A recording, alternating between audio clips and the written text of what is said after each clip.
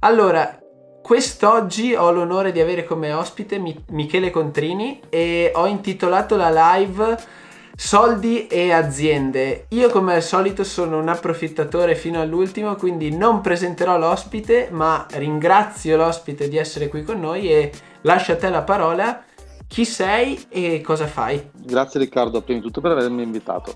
Allora, cosa faccio? Mi occupo di eh, creare opportunità, mi piace definirmi così, mi piace creare situazioni, trovare idee interessanti, affiancare le persone che hanno queste idee nella, nel percorso di costruzione di, della, della, di una realtà aziendale.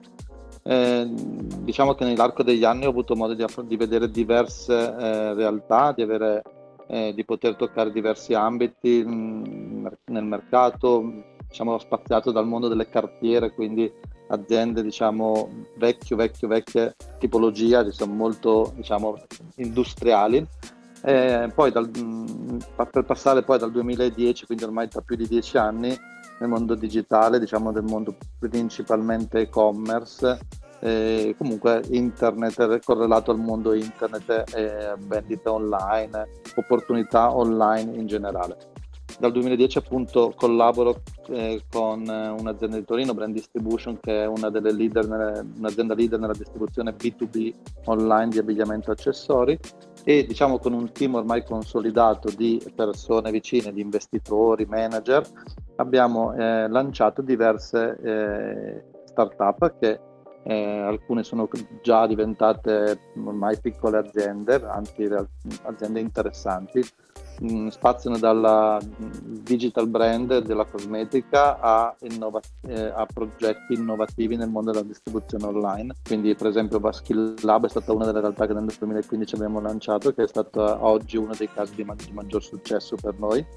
Eh, con una crescita esponenziale, ormai una presenza in tutta Europa e presto il lancio negli Stati Uniti a settembre di quest'anno dove ormai io, per, giusto per chiarezza, sono eh, solo un piccolo socio, ormai perché dopo una prima fase nella quale partecipo all'organizzazione, alla strutturazione della, della società, dell'iniziativa, mi occupo della strutturazione proprio organizzativa, societaria, finanziaria, eh, reperisco i primi capitali, eh, i primi capitali, dopodiché il team che eh, segue l'iniziativa prende e sviluppa la, la, l'attività e io faccio un passaggio indietro e lascio poi il percorso che si sviluppi o meno un percorso. Ad oggi, tra l'altro, il contatto con te è arrivato tramite invece in realtà una delle nostre ultime iniziative che è l'Excel, eh, quindi una, una nuova sempre nell'ambito diciamo online e-commerce eh, si tratta di, una, di, un nuovo modello di business nelle, nelle, vendite online. Cioè abbiamo cercato di portare le vendite dirette a uno step successivo. Quando dico vendite dirette si parla di non so se conosci aziende tipo Avon, Herbalife cioè quelle vendite door to door cioè quasi che però sono, sono un modello di business molto forte da più di 50 anni nel mercato che ad oggi fanno ancora numeri strepitosi, stiamo parlando di aziende che fanno miliardi di fatturato e quindi c'è un'opportunità, però mancava perlomeno fino ad oggi fino a un paio di anni fa quando l'abbiamo iniziata, un'azienda che portasse questa tipologia di vendite nel, nel mondo online.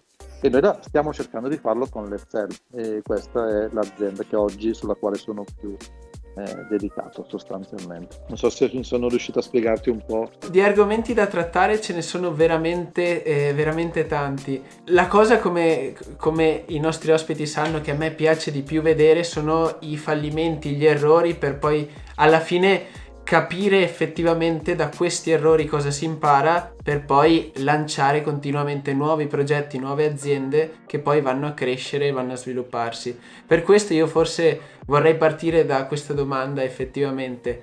A parte i tuoi grandi successi, quali sono i tuoi grandi fallimenti? A oggi ho più grandi fallimenti che grandi successi, a onor del vero. Eh, ma è, se- eh, ma è sempre realtà... così se poi si va a scavare i grandi imprenditori?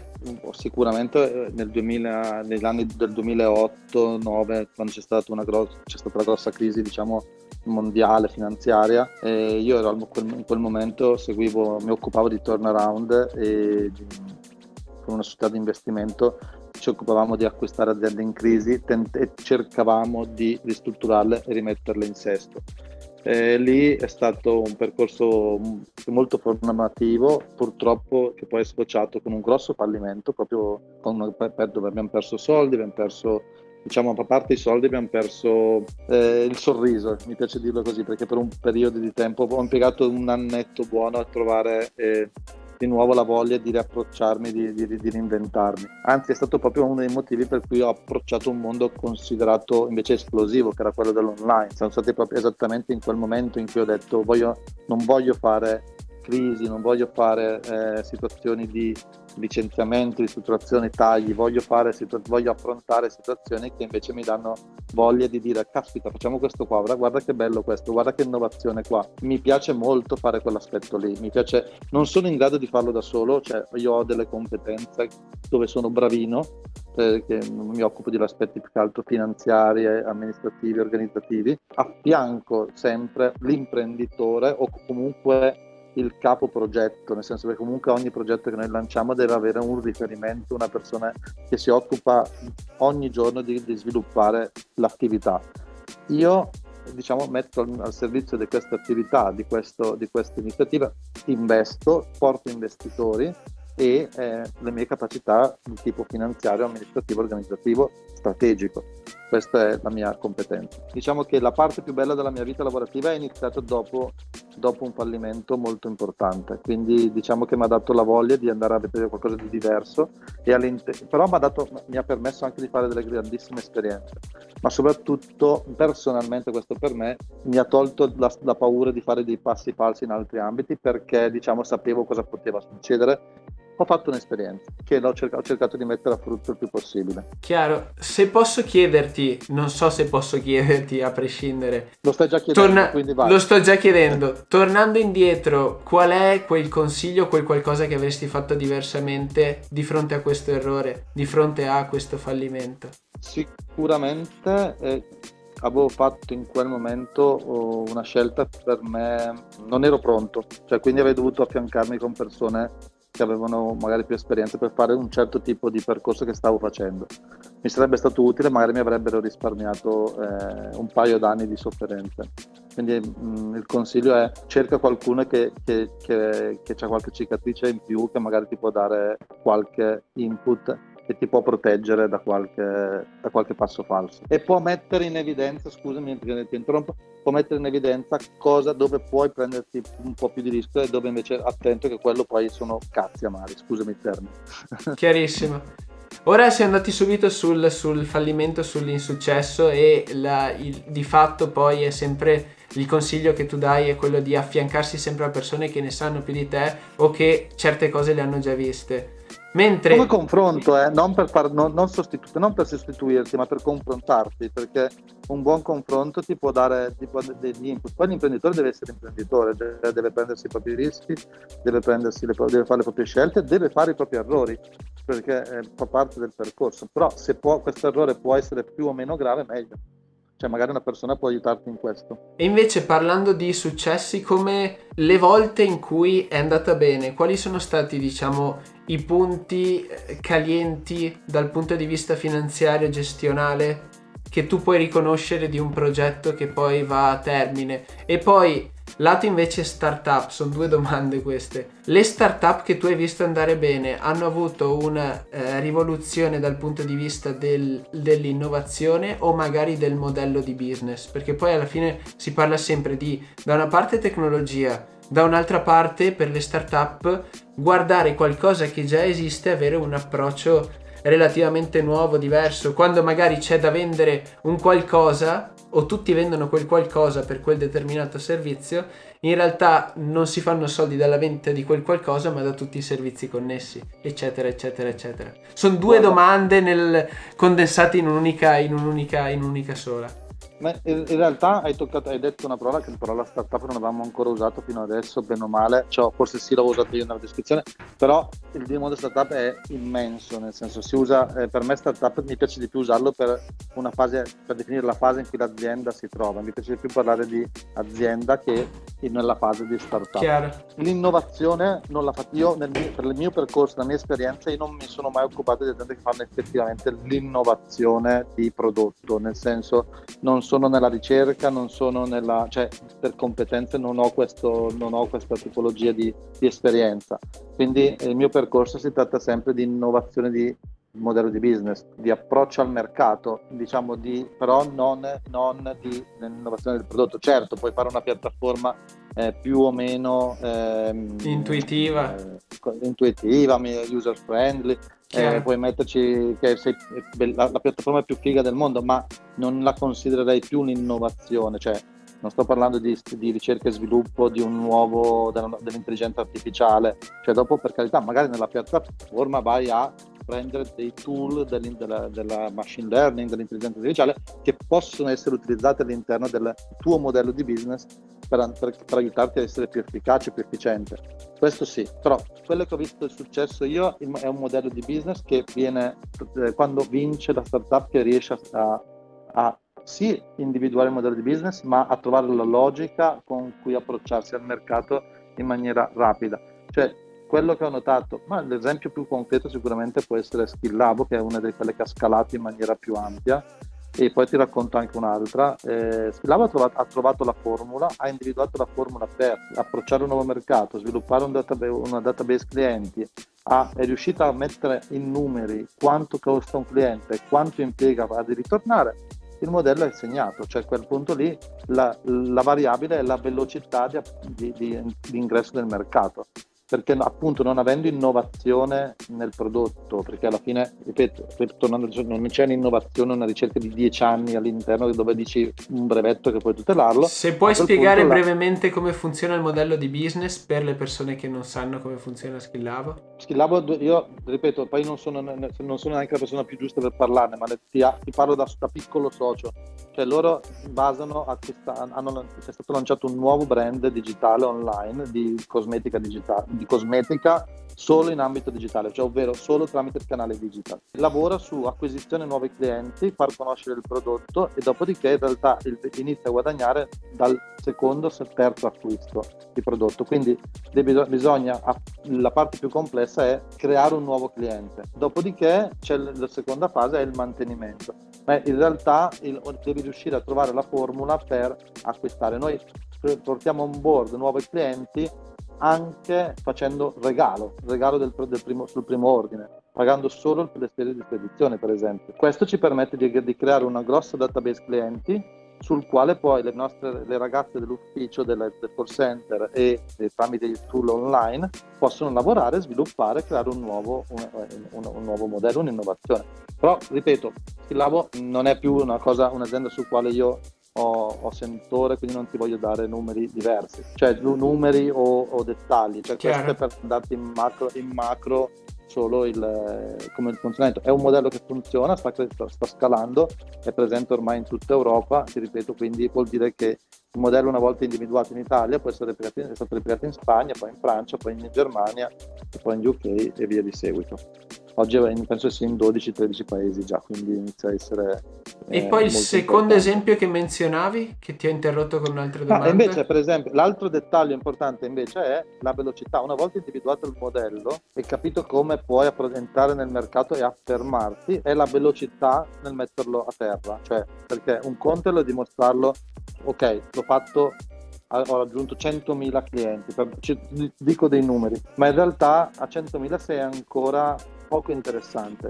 La velocità la, la, tua bravura sta nell'arrivare da 100 a un milione a quel punto lì, perché a quel punto il, sei talmente, diventi talmente interessante che diventi un boccone appetibile sostanzialmente. Quindi e la velocità di messa a terra è fondamentale.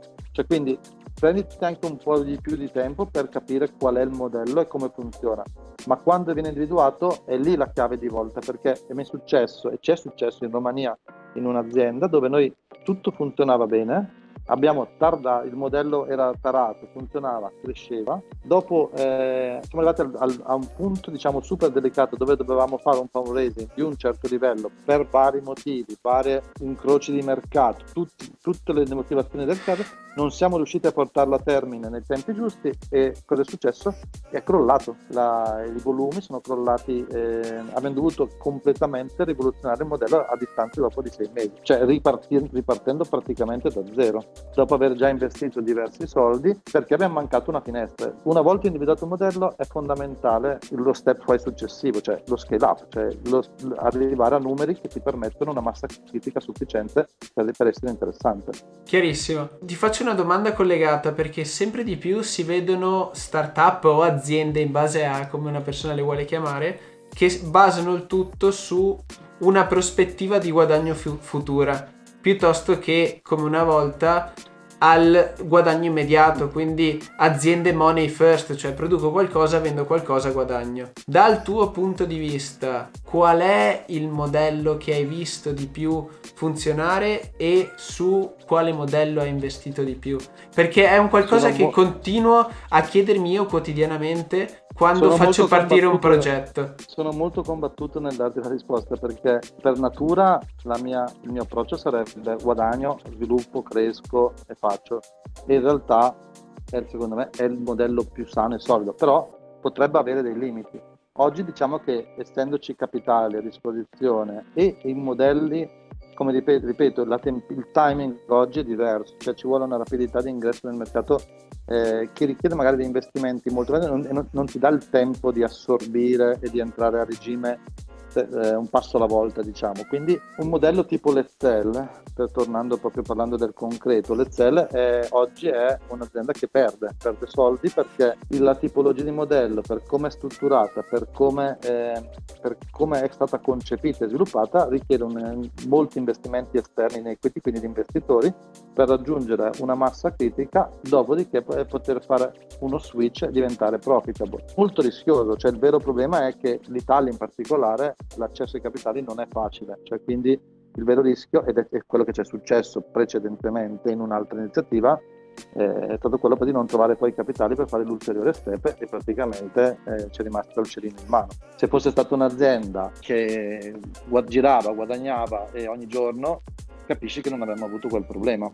Quindi diciamo che non ho una risposta esatta alla tua domanda, cioè onestamente dipende, la risposta forse dipende dalla tipologia di azienda di cui stiamo trattando. Nella, in ambito e-commerce, diciamo per tenerlo, definirlo e-commerce anche comunque online, sicuramente è difficile fare un'azienda che guadagni da subito, oggi. Chiarissimo. Poi per carità.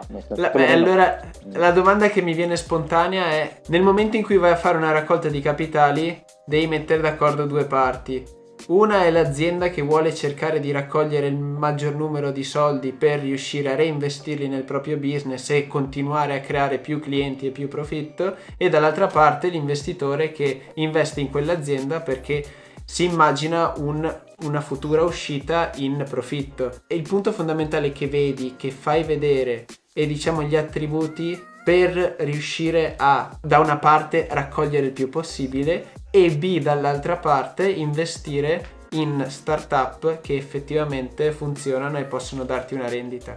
Quindi sia dal punto di vista di imprenditore azienda sia dal punto di vista di investitore e quindi diciamo persona con capitali. A persone con capitali il target che io, io personalmente, come anche io ho fatto degli investimenti dove non sono coinvolto direttamente, piccolini, stiamo parlando di piccoli investimenti, è cercare di, una, di essere nella fase più rischiosa, cioè nella, nell'early stage, quindi, perché comunque non, eh, è lì dove puoi fare sicuramente un ritorno più, più interessante se le cose vanno bene. Per questi investimenti deve essere limitato devi valutare, valuti alla fine l'idea e il team che la, che la propone e eh, sicuramente come investitore privato quella secondo me è la fase più interessante, come investi- investitore di rischio chiaramente.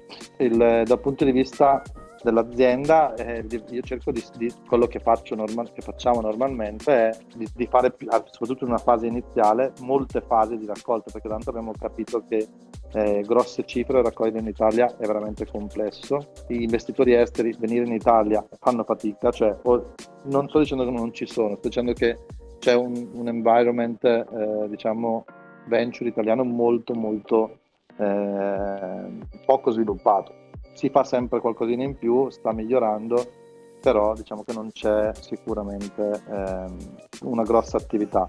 Io su alcune iniziative, l'Excel per esempio, ho dei soci da, ho un socio inglese, un so, due soci svedesi, un socio, due soci spagnoli, prima, tutti coinvolti nella fase di seed, con tagli da 20-30 mila euro cada uno. Per darti un riferimento quando l'abbiamo lanciata. Comunque la prima parte di capitali l'avevamo coperta noi founder, il primo periodo, e poi abbiamo coinvolto perché dopo coinvolgere anche persone che ti possono dare input e aprire nuove porte è molto importante. Eh, alla fine avere, ampliare un network. Io utilizzo la fase, la fase seed per avere un buon network di investitori dentro che ti aprono opportunità poi nei passaggi successivi. Quelli che chiamano smart money, immagino. Sono smart money anche solo di, eh, perché alla fine avere, poter avere dentro qualcuno di compre, famoso discorso di prima, confronto o di necessità quando vuoi aprire un nuovo mercato. Io se devo andare in Spagna, cosa che faremo, è ovvio che contatteremo la persona che è già dentro, che ci può dare qualche input, ci può dare apertura. Quindi avere delle persone giuste ti apre, ti dà opportunità. Non avere paura di lasciare, secondo me, questa è una mia idea, però non diventare matti sull'1% in più, l'1% in meno. Cioè, perché alla fine se hai bisogno dei soldi devi, devi essere pronto a discutere al cliente di percentuale.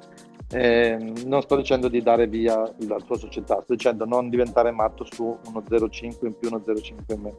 Mi è capitato di avere a che fare con ragazzi che magari no, non voglio, non è, cioè, non è quello, perché se l'azienda va bene cioè, e l'obiettivo è quello, i moltiplicatori saranno talmente interessanti che non sarà più un problema se arrivi uno 0,5 in più. Non so come si riesce a passare il messaggio. Chiaro, chiarissimo, chiarissimo. La prima cosa che guardi o su cui lavori per eh, un'azienda, clienti, raccolta di denaro, profitto? Ovviamente la risposta è dipende. Per tua esperienza, partendo da zero con un progetto. Lo sviluppo da zero? Da, quindi siamo a zero? Siamo a zero. Eh, no, Facciamo un attimo di sviluppo, abbiamo un prodotto. Prima i clienti no. o prima il profitto? No, voglio vedere se il mercato è interessato. Chiaro. Primo step. Quando abbiamo lanciato l'Excel, noi i primi, tre, i primi sei mesi abbiamo solo capito se l'Excel poteva interessare al mercato. Mm, abbiamo fatto diversi test sul pricing, diversi test su come approcciarlo ma se, non, se il mercato non lo recepisce, cioè per la tipologia, ripeto, di iniziative che seguo io e dove ho esperienza, il mercato è il primo, è il, comanda, cioè se, se non vedo quello non ha senso neanche andare avanti. Quindi sempre customer first, sempre di più. Dopo magari customer può essere B2C, può essere dire magari ti sbagli, dici guarda che B2C non è adatto, devi andare verso B2B. Mi è successo in un'altra iniziativa molto interessante eh, legata al climate, al climate tech, quindi dove ho investito, si chiama Mugo, approfitto per dire anche quella, si occupa di fare il conteggio di, della, propria, della carbon footprint del consumatore sostanzialmente di ogni, di ogni persona. Noi è stato fatto un approccio B2C in una fase iniziale e invece dopo aver sviluppato piattaforma, aver sviluppato eh, la tecnologia, il, tutto quello che era necessario, dopo diversi chiacchierati, incontri, confronti, ho capito che erano più interessate le aziende a inserirlo al proprio interno per i propri dipendenti, per, per poterlo rivendere come strumento di marketing, che stavano facendo qualcosa eh, dal punto di vista di climatico, di impatto ambientale, e, e, quindi è stato switchato adesso praticamente è un'azienda B2B. Quindi a volte non necessariamente il mercato deve risponderti subito, bisogna capire che il, il, se il tool è giusto e, e, capisci che quello c'è, magari devi soltanto capire dove targetizzarlo. Capito, chiarissimo. Dal pubblico ci chiedono se sei, eh, se sei una startup ad alto tasso innovativo, conviene cercare capitali direttamente all'estero e se sì, dove?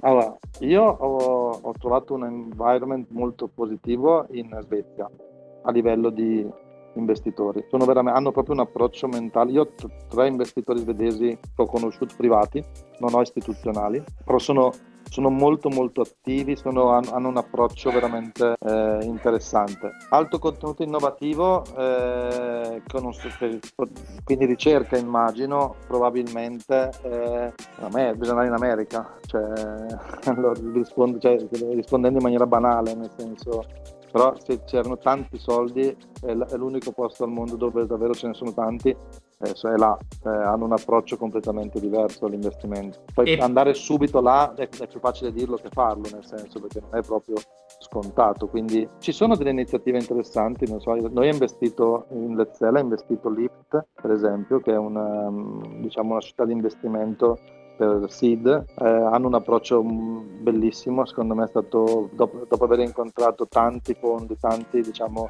strutture, Lyft mi ha, una, mi ha, dimostrato che c'è la possibilità anche in Italia di poter fare venture, questa è stata una mia percezione, quindi fare un tentativo di, anche in Italia prima lo farei comunque perché c'è voglia. Lift ha una, per esempio una specializzazione e proprio per tipologia di, di gestione manageriale uh, di investimenti ad alto contenuto, contenuto innova, di innovazione nel, med- nel medicale, quindi cioè con revenue che arrivano molto dopo lo sviluppo, cioè quindi sono abituati ad avere un approccio. Esistono anche in Italia. Come lo vedi invece il mercato dei capitali qui in Italia? Eh, è molto è piccolo, eh, onestamente, molto piccolo.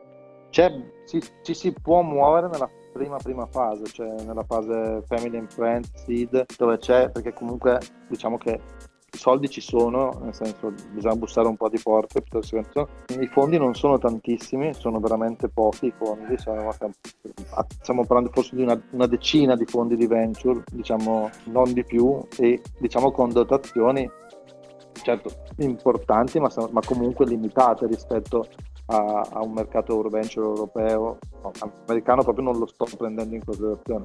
Quindi diciamo che non, un, non, non, abbiamo una situazione di venture secondo me super, mi, mi, sta migliorando tantissimo rispetto a quelli negli ultimi cinque anni, c'è stato sicuramente un grosso percorso. C'è, c'è voglia anche nelle, dal punto di vista governativo di, di, dare delle incentivazioni, dei recuperi fiscali, secondo me si può fare ancora molto di più perché investi- specialmente sulla parte degli investitori eh, privati.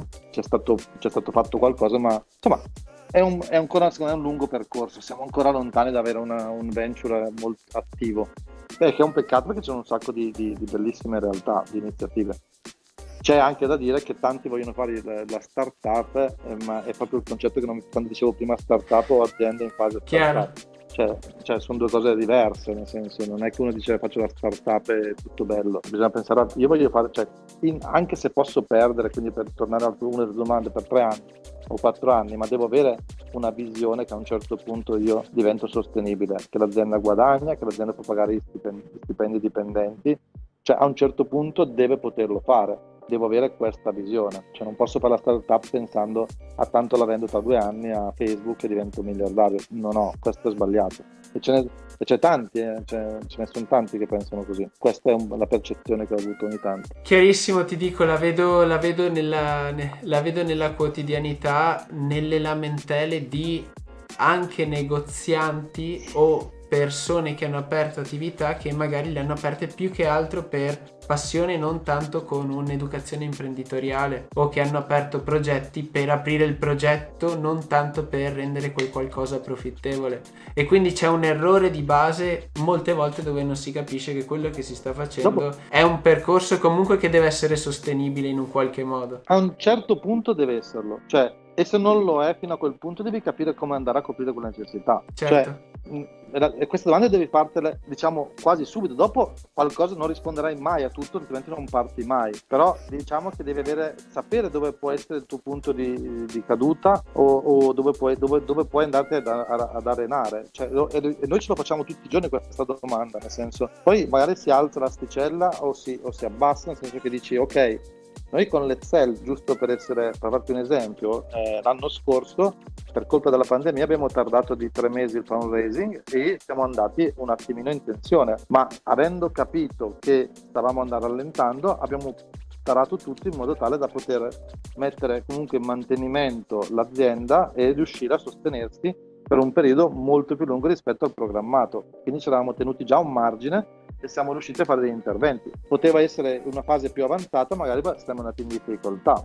Però diciamo che questa era anche una situazione straordinaria, e sicuramente. Diciamo che le domande bisogna farsele prima, ok, dici non guadagno niente per 5 anni, mi servono 10 milioni di euro. Eh, ok, nel senso, eh, cerchiamo di capire dove andiamo. Come tro- esatto. Non, magari non tutti e 10, però almeno diciamo facciamo un programma di 18 mesi, 24 mesi per dire intanto inizio a fare sarebbe stata, sarebbe stata la mia domanda successiva, cioè quanto fondo di cassa devi avere? Ovvio che idealmente tu più ne hai meglio è, più riesci a pagare i fornitori, dipendenti e quant'altro. Ma però non è, è... No, non è vero, perché in realtà puoi farlo anche step by step, cioè in realtà io quello che prevedo almeno nel primo fundraising voglio avere un'autonomia di almeno 18 mesi, questo è il mio, è quando io faccio delle, dei ragionamenti. Dopo da aggiustare in corsa, perché fosse, se gli Excel fossero tutti giusti, io oggi sarei, billionaire, cioè eh, sarei non miliardario, miliardario minimo. Quindi, per, quindi, tu programmi per 18 mesi, poi i soldi durano 6-12 mesi? Diciamo che se programmo per 18, almeno 12 deve coprirli, diciamo, sicuramente.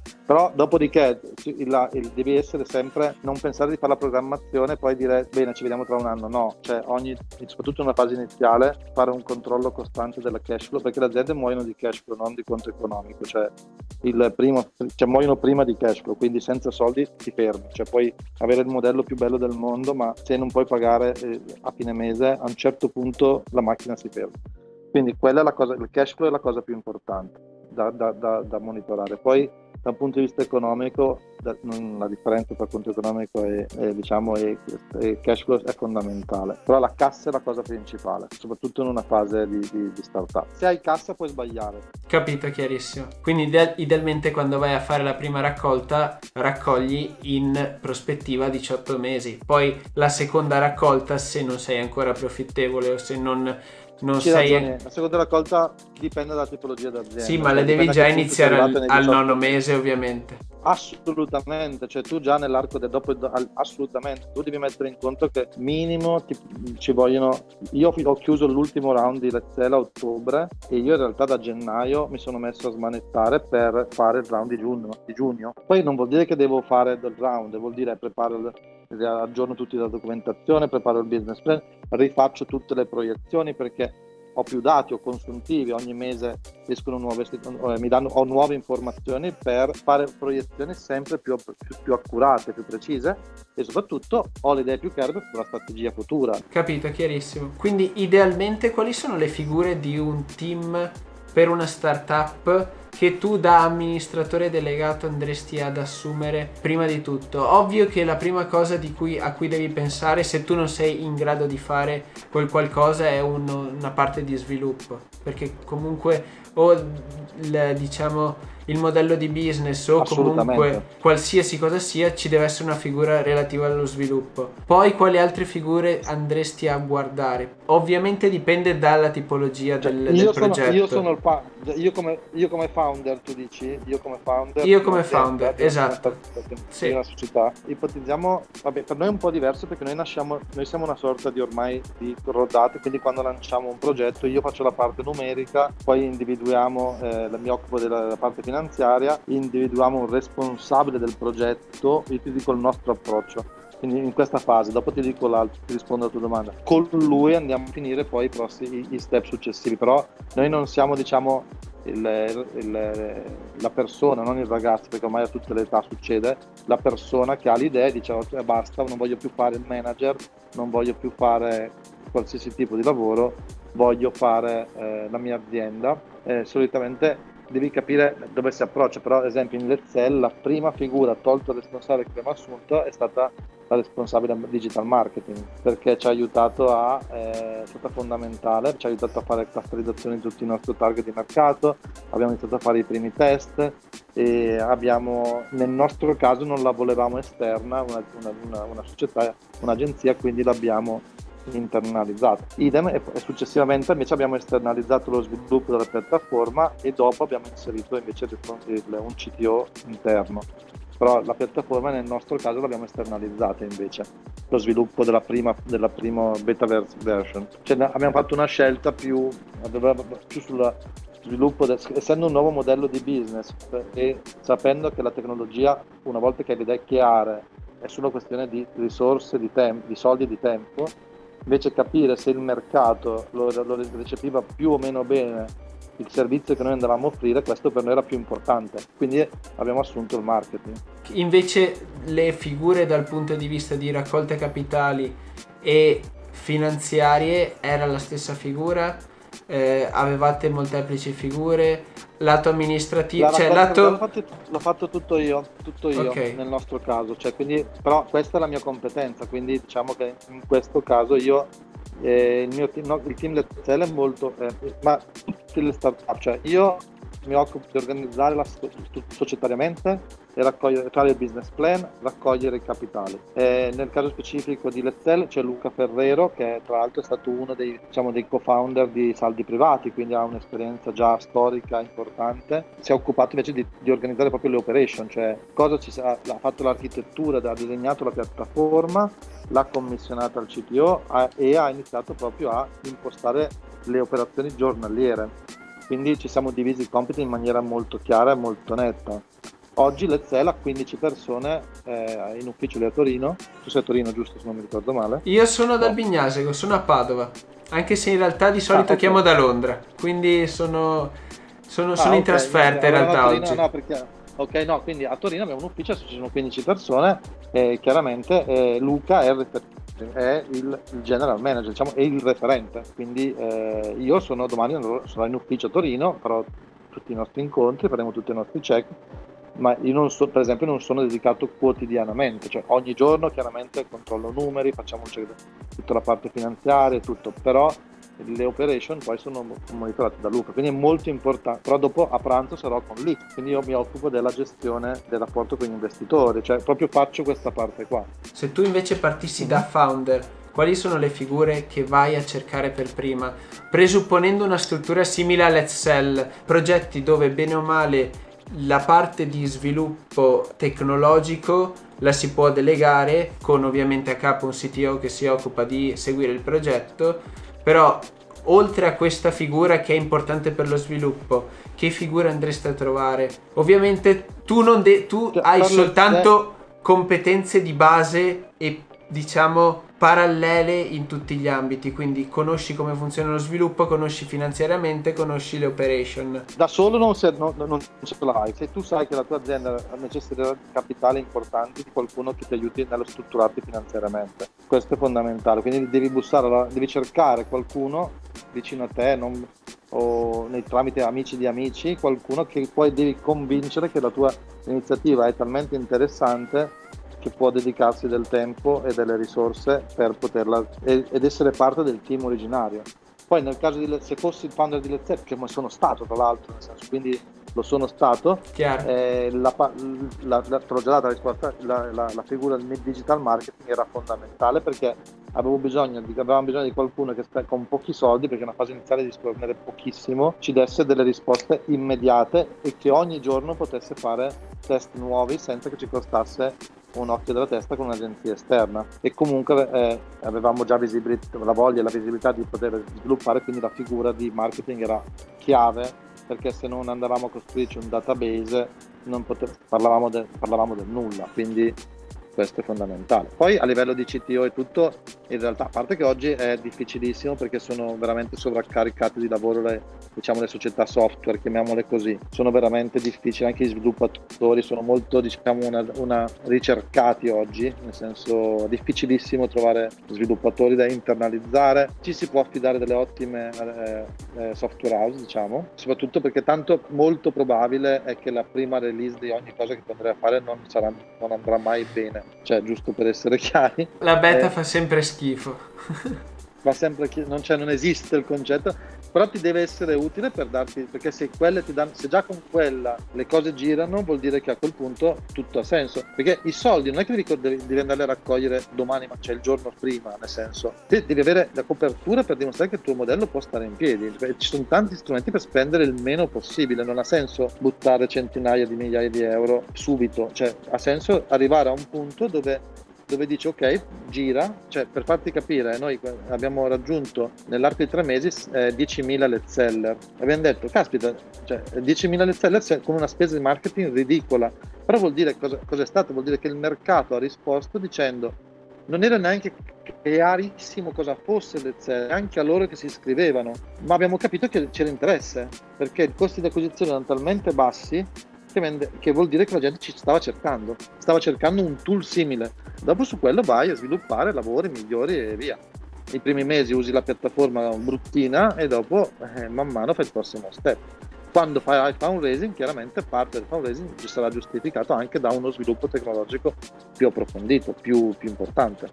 Cioè devi ragionare per step, non puoi ragionare, eh, non puoi avere tutto pianificato, è impossibile, cioè è veramente impossibile devi avere le idee chiare su dove vuoi arrivare, dove vuoi andare, questo sì. Non puoi essere pronto a cambiare, a cambiare direzione velocemente per arrivarci, però eh, questo è, quello mi sento di dire. La, la, la prima figura comunque devi, devi, proprio convincere qualcuno ad affiancarti nel percorso, cioè, ma non dipendente. Cioè devi, cioè, stiamo parlando di, di, in un concetto di startup, poi ripeto Riccardo, stiamo facendo delle generalizzazioni adesso, certo. poi ogni realtà dovrebbe essere, dovrebbe essere analizzata e, e, e capita nel senso singolarmente. Mi è, mi è molto molto chiaro e dal tuo punto di vista, ora è una domanda un pelo più tecnica, quali sono le cap table migliori?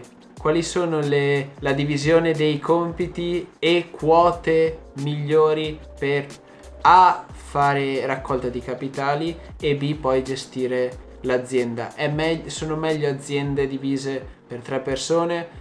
sono meglio aziende divise per due persone equamente, è meglio avere una persona che è la, cioè, l'owner del progetto. Ah, ti rispondo in modo diverso, due persone equamente non funziona. Lo, quello, quello è, è, tra virgolette ovvio.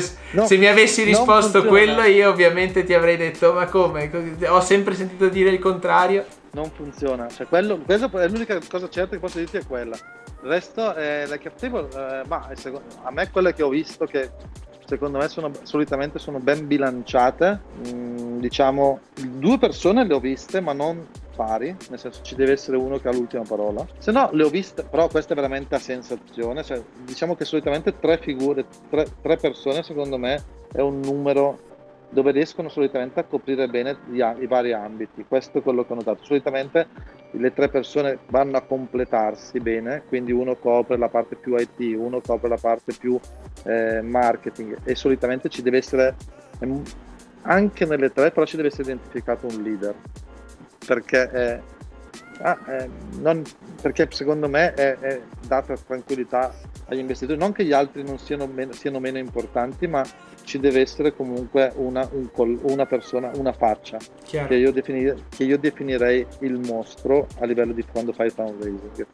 Nel senso è la, è la persona di riferimento. Dopodiché fondamentali anche tutte e tre le figure, diciamo, ipotizzando che sono tre, però secondo me una leader ci deve essere. Chiarissimo.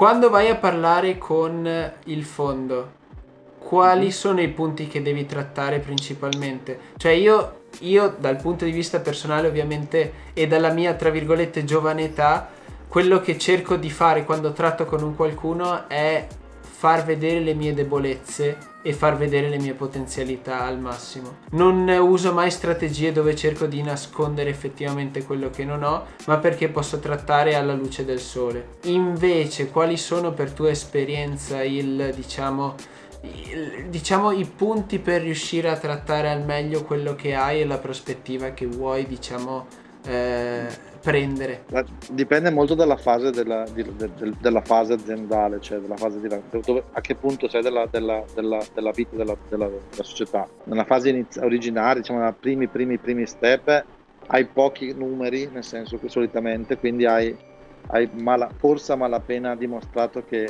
che, che, il modello di business può avere senso. Lì magari te la giochi molto sul, sul, team e la fiducia che dai al team, immagino. Te, te, te, la giochi molto sul fatto che ti, devono, che ti sentono sul pezzo, che sanno, che capiscono che sai che sei dentro. Vogliono alla fine i fondi vogliono commitment, cioè loro stanno, soprattutto in quella fase, stanno investendo su, su di te, sul, sul, sulle due, le tre l'una persona di chi, di chi sta presentando l'idea, questo sicuramente. La prima fase quindi è molto legata a far capire che sei sul pezzo, che eh, sei dedicato, che, sta, che, capisci cosa stai facendo e dimostrare che almeno sulla carta può avere un senso, perché alla fine quello è.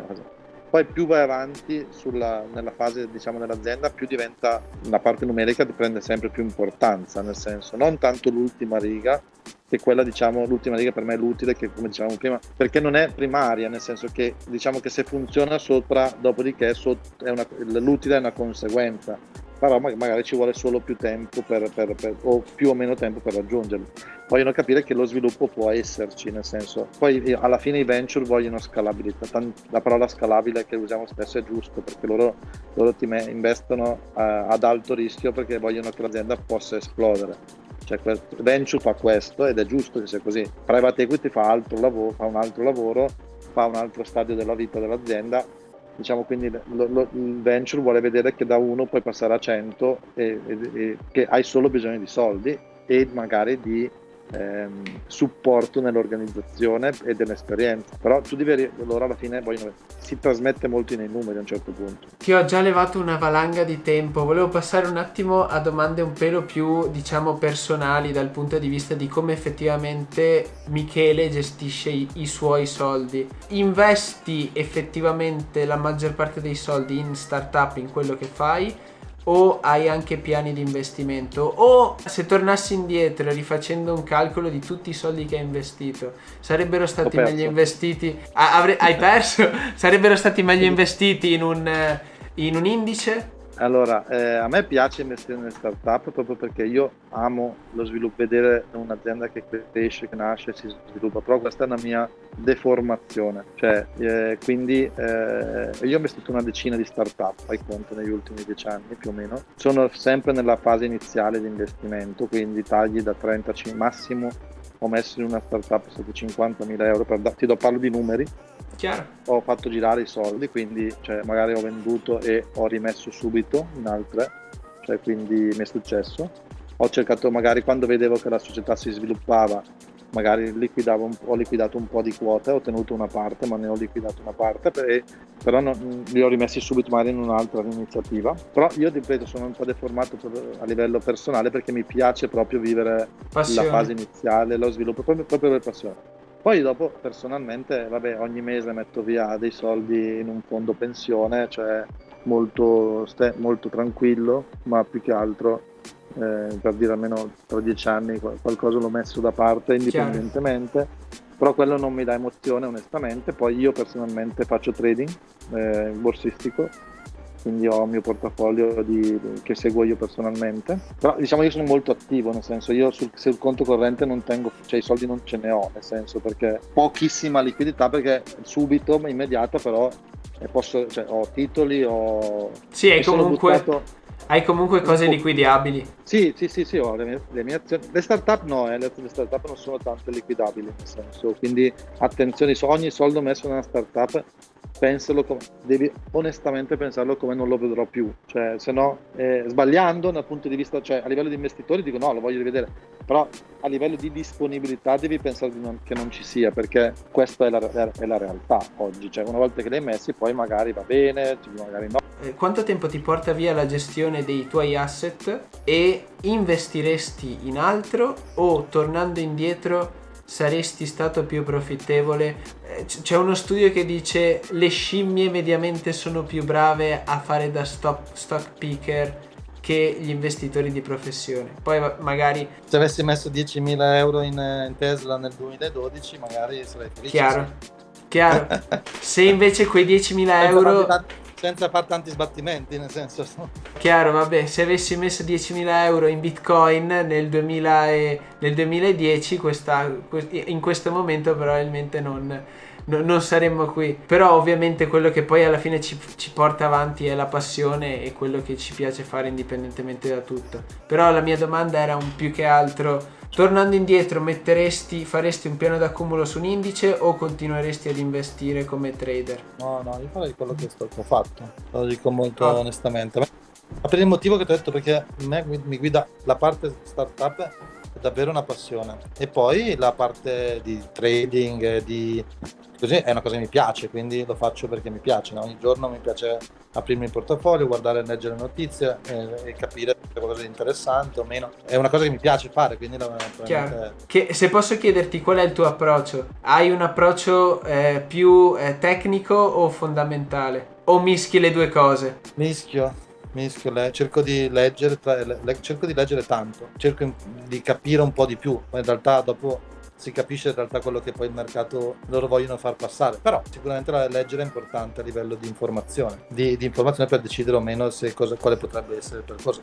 Poi onestamente, Riccardo, l'anno scorso parliamo di piccole cifre, ripeto perché non voglio passare per cose, però quando c'è stato il crollo della pandemia io ho comprato un po' di, di azioni, l'ho lasciate lì, ce l'ho ancora lì non l'ho più toccate perché ho detto non era, non era, un crollo, era più che ragionevole pensare che ci sarebbe stato un percorso di ritorno, salvo che non finisse il mondo, chiaramente, ma a quel punto non ci, saremmo, non ci avrebbe inter- Sarebbero stati altri problemi, chiaramente. La logica ho detto, ti stiamo parlando di qualche migliaio di euro, l'ho messo, l'ho preso e sono ancora lì.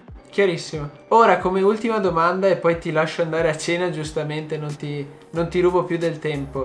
Qual è il tuo consiglio a un investitore che sta iniziando la propria attività, B un imprenditore o diciamo persone che vuole iniziare un progetto persone che vuole mettere in piedi una startup. Quindi hai due persone a cui dare un consiglio. All'imprenditore di porsi la domanda sto creando una startup o sto creando un'azienda che un giorno sarà in grado di creare eh, valore. Creare valore vuol dire creare opportunità di lavoro, creare un prodotto, eh, creare mercato, creare... rispondere a quella domanda è molto importante. Quindi se rispondi alla domanda sì, sono in grado, sto, sto creando valore, andrò a creare valore, allora procedi. Le soluzioni si trovano. Chiaro. E invece all'investitore? Investitore, è, attenzione, è la domanda, primo step è non spingersi mai oltre, nel senso capire da un investitore accurato anche ad alto rischio comunque deve fare un, bilan- un portafoglio bilanciato questa è l'unica cosa quindi qualcosa di super safe mischiato con qualcosa ad alto rischio questo è il mio approccio cercare di investire in qualcosa che se non lo capisci anche qui piuttosto segui un indice affidati a un professionista, dipende quanti soldi hai da investire, nel senso. Sì, investi Però, quello che capisci. Bravo, cioè eh, questo è secondo me sì, è importante come logica, perché anche le start-up, innovazione e tutto, però se vedi che ha una logicità, seguila, nel senso, segui quello, non è che deve, cioè, non devi capire di tutti i mercati, non devi capire di tutte le iniziative, però la logica esiste in ogni iniziativa. Dopo è ovvio che se uno arriva e ti propone investi in questa situazione, sta facendo la ricerca per la, la soluzione contro il cancro, altro e sono i migliori del mondo, così fidati che va, va per questo, questo, questo motivo, magari segui, nel senso, anche se non ci capisci una, niente, però... Sì, informati, leggi, approfondisci e dopodiché valuta. Però l'importante è ovviamente avere un, bilanciare bene il portafoglio e quando, soprattutto nel mondo startup, lo ripeto, pensare di metterli e dire non mi serve, soprattutto usare soldi che non ti servono per vivere. Chiarissimo.